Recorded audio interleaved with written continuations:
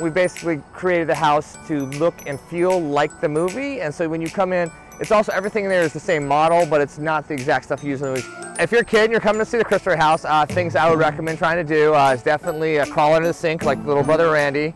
Uh, we also have the BB gun in there if you want to kind of get a picture because your mom's probably not going to let you get one because you will shoot your eye out just like Ralphie. If you go upstairs, be sure to pick up the phone. There's a little fun message. I'd also maybe check out the bathroom because the decoder pin's in there. You do have a flagpole across the street. It's aluminum, but still don't tuck, stick your tongue to the, that flagpole. We don't want it to get stuck there.